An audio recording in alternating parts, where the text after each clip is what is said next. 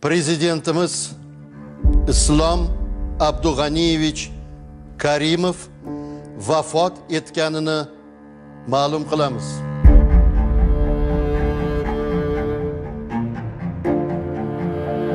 Qanday og'ir sinov bo'ron so'ronli kunlarni boshimizdan kechirgan xalqmiz.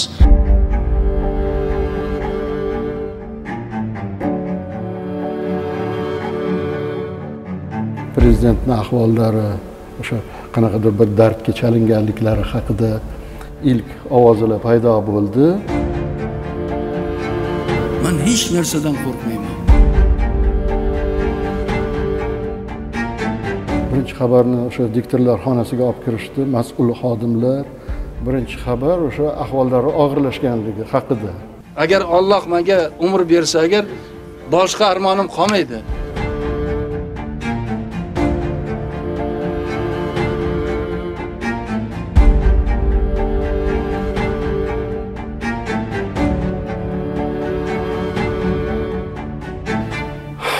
o'sha mudhish voqea keldi.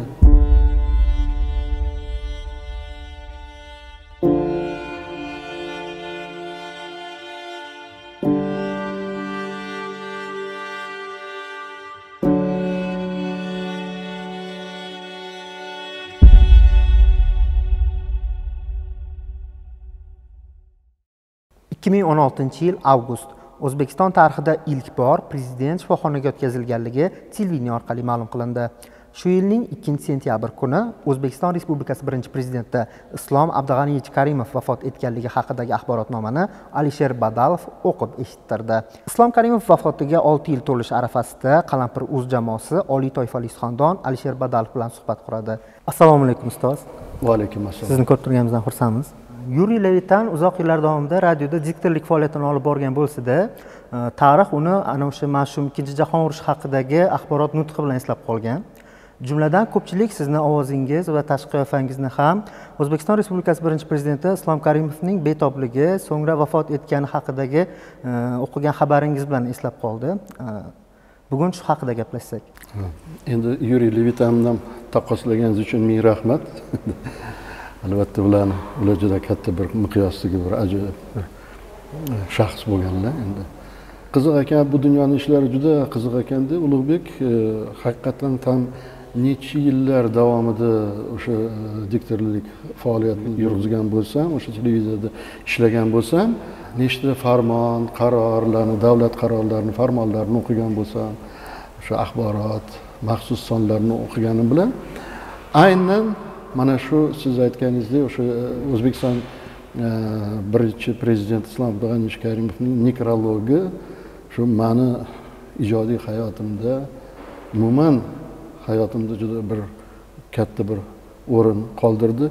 Shu tomoshabinlar ham odamlar insonlar muxlislar ko'proq mani o'sha voqeamdan taqqoslashadigan bo'lib qolishdi. Qachonki o'sha ko'rishsak ham suhbatda bo'lsak ham aynan borib borib baribir o'sha suhbatimiz o'sha mavzuga qadaladigan bo'ldi. E, garchi endi siz hozir mana shu gapni nekrologdan boshladingiz. Garchi shu e, ilk bora nekrologni endi bu bu ham juda katta san'at katta bilimni talab qiladigan bir e, bir jarayon. Avval o'sha bir ming to'qqiz yuz uzoq bir ming to'qqiz yuz sakson ikkinchi yili ilk bora man o'zi mm, birinchi nekrologlarimni ijro etganman. O'sha sakson ikkinchi yili o'zbekiston televideniyasiga diktor bo'lib qabul qilinganimda o'shanda respublika miqyosida yoki sobiq sovet ittifoqi e, miqyosida o'sha ko'zga ko'ringan davlat arboblari e, shu hayotdan ko'z yumganda o'sha nekrologlar o'qishga to'g'ri kelib qolardi. Shu o'shanda ham e, demak aytardi rahbarlar ham o'sha televideniya rahbarlari shu alisher badalov shu nekrologlarni e, juda e, shu tobiga keltirib ijro etar ekan shunaqa bir e, qobiliyatimiz bor ekanda. Ming afsuski ham deymiz endi. Avvalambor yaxshi xursandchilik bir xabarlarni berish qandoq yaxshiku. Lekin endi hayot shunaqa bir baland pastlardan oq qoradan iborat ekan xursandchilik ham bor ekan o'lim ham bor ekan tug'ilish ham bor ekan. E, har xil vaziyatda o'zini demak o'sha qobiliyatini namoyish qilish shu nasib etsa bu juda bir katta gap deb bilaman. Yigirma oltinchi avgust kuniga qaytadigan bo'lsak e, ana o'sha kuni axborot dasturini aslida siz olib borishingiz kerakmidi endi ochig'ini aytsam ulug'bek mm, hozir uncha muncha esimda yo'qki e, gap ochig'i o'sha avgust oxirlarida man e, o'sha kenja qizimni to'yi bo'lishi kerak edi. O'sha to'ylarni harakatlarim bilan hozir aniq bir eslolmaymanku.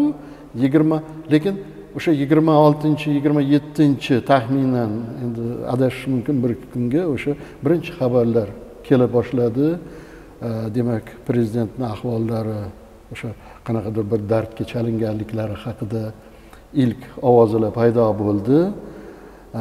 O'sha xalqni o'sha asta sekin o'sha holatga tayyorlab borish sifatida bo'lsa kerak.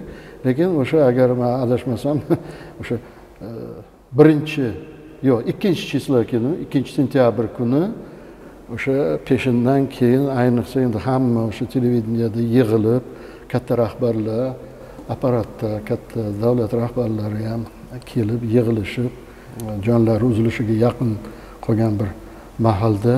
O'sha asosan o'sha ikkinchi sentyabr kuni ma'lumotlar o'z rivojini topdi. Eng muhimi odamlar rozi bo'lib yashayotgani sababi nima deb mandan so'rasa man hech ikkilanmasdan aytaman. Ollohni buyurishi o'zi asrayapti o'zi ochib beryapti bizlarni yo'limizni Э, ko'pchilikni nazdida islom karimov э, avgust oyini so'ngidayoq vafot etgan lekin э, mustaqillik bayrami o'tishi munosabati bilan bu xabar ikkinchi sentyabrda e'lon qilingan degan e, qarashlar bor. Shunga aniqlik kiritish uchun so'ramoqchiman. E, sizlar bu xabarni e, vafot etganliklari haqidagi xabarni qachon eshitgansizlar va mana shu xabar yozib olinishi va e'lon qilinishi o'rtasida qancha vaqt o'tgan? O'zingiz ham bilasizku mish mish degan narsalar bu juda bir vohma yolg'on yashiq har xil uydirmalar. U butun odamga demak xos bo'lgan narsa oddiy bandaga xos bo'lgan narsa. Shunaqa gaplar yurardi albatta. Hammamizni esimizda. Yo ular oldindan jon taslim qilganlar faqat mana shu bayram o'tib olsin keyin bir e'lon qilinadi degan narsalar xalq ichida juda ko'p yurgan. Hmm. endi ko'rmaganingdan keyin bilmaganingdan keyin qanaqa qilib endi unga mm, qanaqa qilib baho berishingiz mumkin? Shaxsan mana o'ziz ham mana misol uchun biz ko'rmaganmiz. O'zimiz guvohi bo'lmaganmiz. Endi taxminlar bo'lgan. Endi u taxminga ishonib bo'ladimi ishonib bo'lmaydimi bilib bo'lmaydi. Biz bilgan narsamiz o'sha asosan demak ikkinchi sentyabr kuni o'sha taxminan peshindan keyin ahvollar og'irlashdi. Kelinglar hattoki peshindan ham emas anig'ini aytadigan bo'lsam o'sha ertalabdan o'sha kun davomida hamma suxandonlarni hamma muharrirlarni demak o'sha kerakli odamlar demak chaqirilgan televideniyaga o'sha navoiy ko'chasi oltmish to'qqizinchi uyga teletsentr telemarkazga diktorskiyda yig'ilgan biz bir qancha suxandonlar. De o'sha bir qanaqadir bir og'ir bir holatda bir qandaydir mudhish voqea oldidan bir holatda yomon kayfiyatda o'tirgan bir yomon bir xabarni hozir biz shu demak e'lon qilishga majbur bo'lamiz degan bir ma'noda yig'ilganmiz. Shunda o'sha taxminan soat agar adashmasam soat to'rt beshlarda balkim kechroqdir. Birinchi xabar keldi. Birinchi xabarni o'sha diktorlar xonasiga olib kirishdi mas'ul xodimlar. Demak davlat rahbariyatidagi o'sha apparatdan keyin o'zimiz ham katta rahbarlar kelishdida alisher alisher aka mana bu hozir birinchi xabarni hozir o'qib berasiz. Ikkala tilda rus va o'zbek tillarida o'qib berasiz deb birinchi xabarni berishdi. Bu birinchi agar endi o'zingiz ham xabaringiz bordir birinchi xabar o'sha ahvollari og'irlashganligi haqida. Chuqur qayg'u bilan shuni ma'lum qilamizki o'tgan sutkada prezidentimizning sog'lig'i birdaniga yomonlashdi va shifokorlar vaziyatni o'ta og'ir deb baholamoqda. O'sha birinchi xabarni bergandan keyin taxminan adashmasam bir ikki soatlardan keyin yettilar atrofidan yettidan oshgandami kech shom mahal. O'sha mudhish voqea keldi. Yana kelib mana demak jonlari uzildi. Shu xabarni yetkazasiz. Endi buyog'i o'ziz professionalsiz o'zizni kasbingizni yaxshi bilasiz. Qanaqa qilib e'lon qilishni judayam haligi yig'lab ham yubormaslik kerak judayam haligi tushkunlikka tushmaslik ham kerak. Ja haligi e, haligi dadillik bilan tez tez tez xabar qilish ham to'g'ri kelmaydi. Yuragimizda chuqur qayg'u bilan barchamiz uchun qadrli bo'lgan prezidentimiz islom abdug'aniyevich karimov vafot etganini ma'lum qilamiz. Bir vaqtni o'zida ham albatta qanaqadir bir og'ir judolikka uchraganligimizni ma'lum darajada optimistik ruhni ham bir vaqtni o'zida mana shu narsalarni bitta qolipga solib yetkazishdek bir oson bo'lmagan bir vazifa turardi vazifa. Buni manga rahbarlar aytmasa ham o'zim ham bilardim shuni. Mana shu axborotnoma yozib olingani va efirga uzatilishi oralig'ida qancha vaqt o'tgan? Juda kam vaqt o'tgan o'sha. O'sha e, toblar toblari qochgan ahvollari og'irlashgani haqida va umuman o'sha demak olamdan o'tganliklari haqidagi o'sha narsalar agar yozilib bo'lingan bo'lsa deyarli deyarli o'sha zahoti besh o'n daqiqa ichida o'sha shunday ko'rib chiqilib shunday ko'rib chiqilib shunday uzatilgan efirga.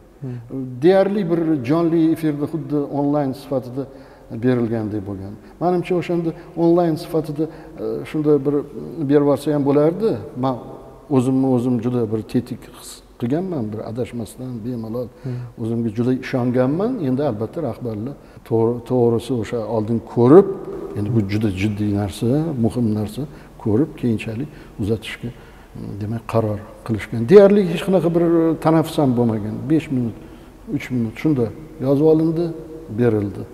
Yozib olindi berildi. Mana shu ahvolda bo'lgan. Man sizlardan nimani so'rayman? Kurashchi bo'linglar. Kurashish kerak o'zbekiston uchun farzandlarimiz hayoti uchun kurashishimiz kerak tinchlik uchun kurashishimiz kerak. Ana o'sha vaqtda o'zbekistonda kayfiyat u qadar yaxshi emasdi insonlar qalbida E, motam va qo'rquv hissi bor edi. Siz e, o'zbekistonni yigirma besh yil boshqargan davlat rahbari vafoti haqidagi xabarni butun dunyoga e'lon qilayotgan vaqtingizda sizdan e, qalbingizdan qanaqa kechinmalar o'tgan nimalarni his qilgansiz? O'sha birinchi navbatda boya aytib o'tgandek juda katta mas'uliyat. Man albatta ko'z oldimga keltirganman.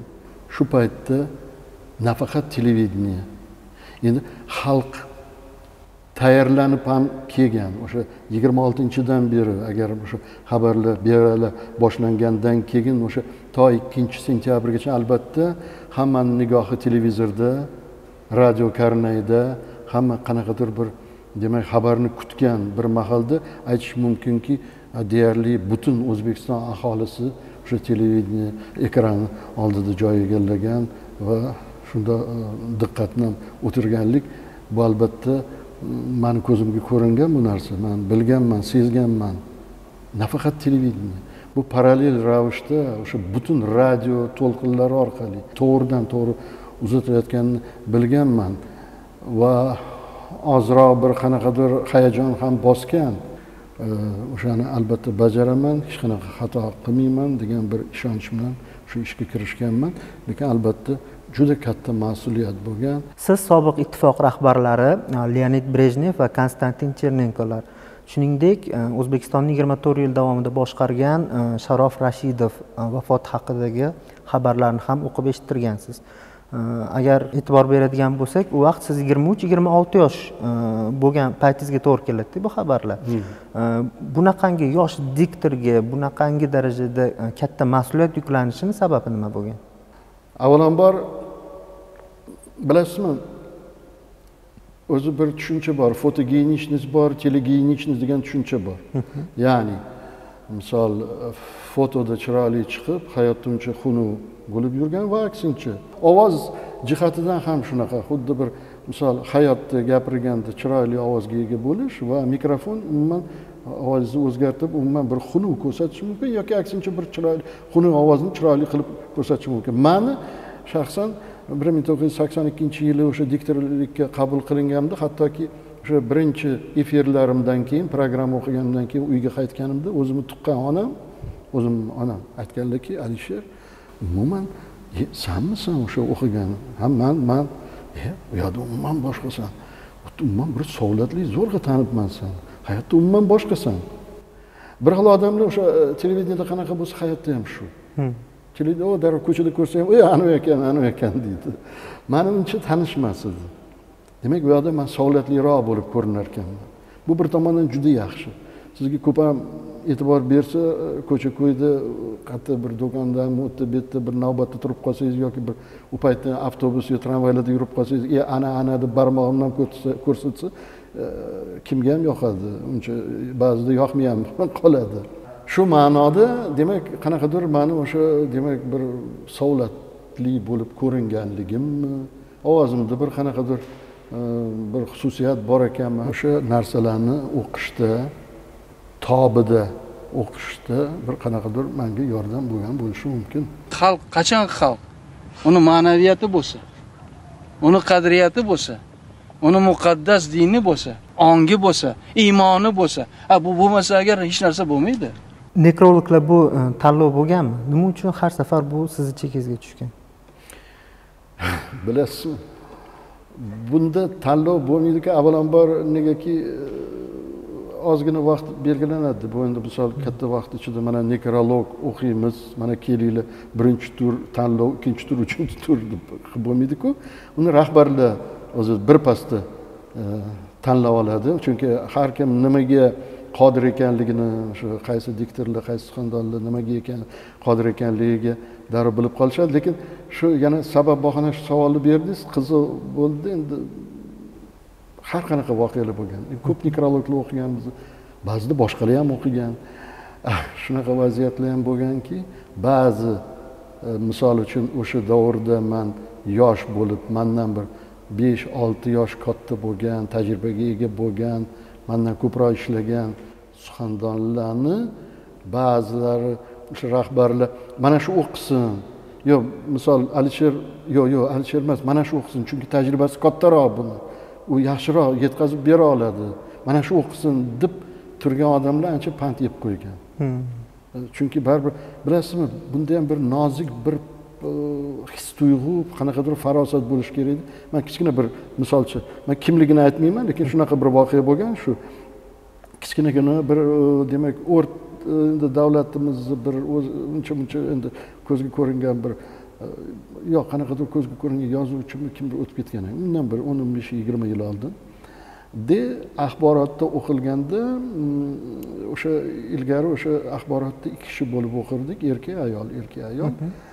Ketidan sport demak sport keyin ob havo endi o'sha kichkina bir nekrologni kim o'qiydi deb shu tanlashganda o'sha o'shani tajribasi kattaroq o'sha o'qisin deyishganda a bo'pti de unga tushuntirishgan undan keyin o'sha voqeadan keyin o'sha nekrologchani o'qiganingdan keyin ozgina bir kayfiyatingni anaqa qilib ana endi ob havo haqida а теперь о погоде. Deb sal ozgina unda o'zgartirib ozgina o'tib ketishing kerak edi o'zi а теперь о погоде. O'zi u pagodani e'lon qilish kerak edi lekin endi o'shanga nimagadir mana shunga ishonib shunga topshirib qo'yishgan de shunda pand yeb qo'yganiki u odam endi uncha shu vazifasini to'g'ri tushunmaganmi qanaqa bo'lgan bir g'alati bo'lganki beo'xshov bo'lganda xunuk narsa bo'lganki o'sha nekrologni o'qib bo'lib keyin birdaniga haligi endi o'rgatganda oshirib yuborganda yana aytadiyu haligi do'ppisini olib kelin kallasini olib kelin a теперь о погоде deb anaqa ja bir xursandchilikni qilib shunaqangi bir beo'xshov shunaqangi bir xunuk bo'lib ko'ringanki mm, demak mm,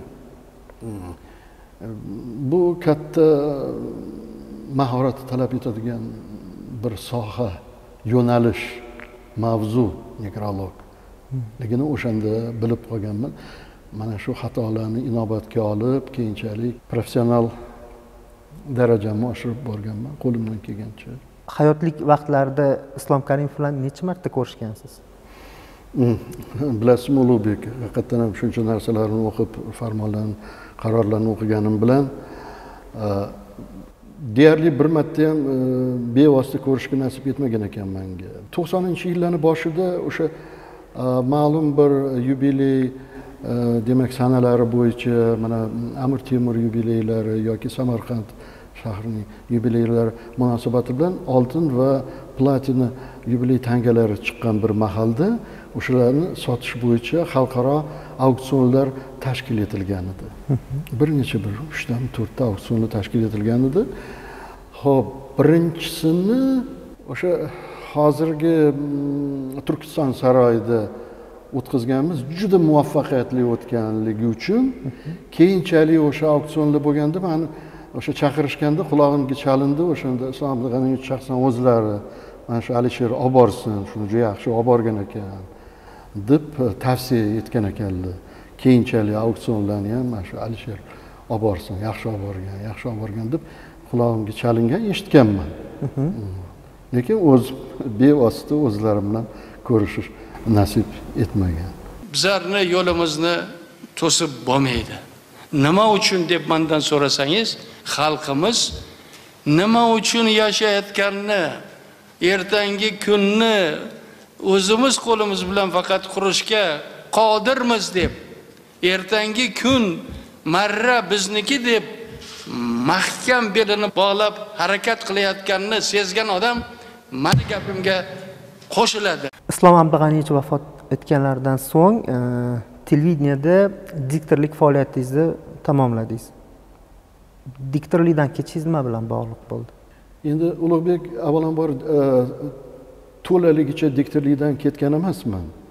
Bilasizmi o'sha yillari e, mana media sohasi juda bir rivojlangan mahalga to'g'ri kelib qolganligi uchun formatlar o'zgaryapti o'sha haligi uzatish shakllari o'zgargan bir mahalda axborotdan demak e, yigirma to'rt kanaliga o'tish vaqtiga to'g'ri kelib qoldi. Endi albatta yangilik yangilik bo'lgandan keyin qanaqadir o'sha yangilik bo'lsin yangi boshlovchilar bo'lsin yangi formatli bo'lsin degan ma'noda demak ular o'sha demak e, axborot yigirma to'rt o'z faoliyatini boshlaganda biza ham boshlaganmiz o'sha kirishganmiz lekin qanaqadir o'ziga yarasha bir formatlarni eksperimental ravishda bo'lsa ham qanaqadir formatlarni o'zgartirish bir izlanishlar mm, ko'p izlanishlar bir bo'lgan bir mahalga to'g'ri kelib qolganligi uchun biz ham o'sha